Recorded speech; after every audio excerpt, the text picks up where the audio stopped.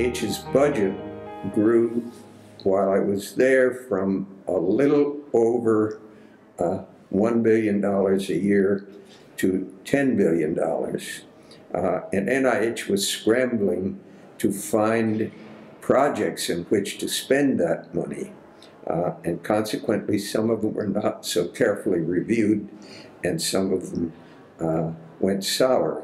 And the Congress and the Senate were very critical of research that turned out badly or that they considered unjust.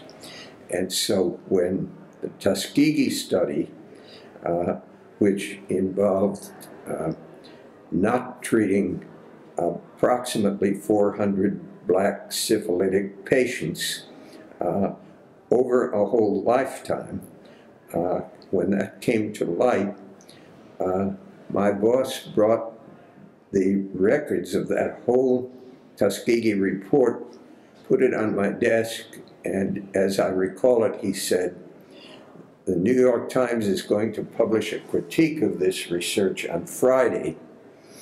I want a report on my desk of how the government can defend itself for having offended, uh, having, having conducted such research. And uh, in fact, it wasn't very hard to review because year after year the reports were almost identical. And uh, these men were systematically denied treatment for their syphilis long after uh, penicillin had been discovered and was available to them to cure them. Uh, and many of them went to their deaths untreated when we had very effective uh, treatment for them uh, available. And so it was inexcusable.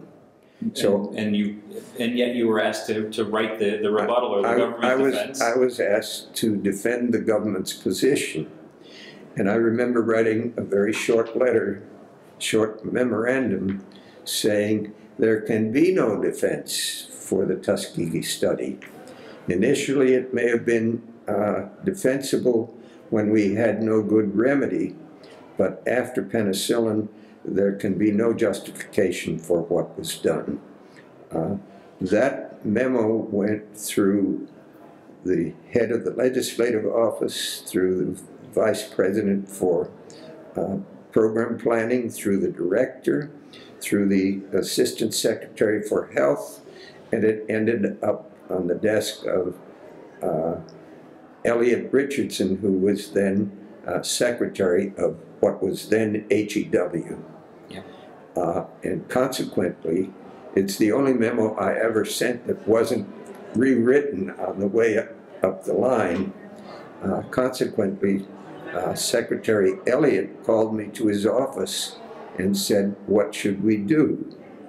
Uh, and uh, we discussed it for a while. He asked me to write testimony, and that's when uh, I recommended that we strengthen the uh, Office for Protection from Research Risks, which didn't bear that name, by the way. It was part of the uh, uh grants office, so it, it was uh, part of Division of Research Grants, and its initials were uh, IRB, it was the institutional relations branch that solved problems between awardee NIH and uh, or awarding NIH and awardee institutions. Uh, and so they already had an outgoing program to institutions all over the country. And they added to that program uh, the care of uh, research subjects.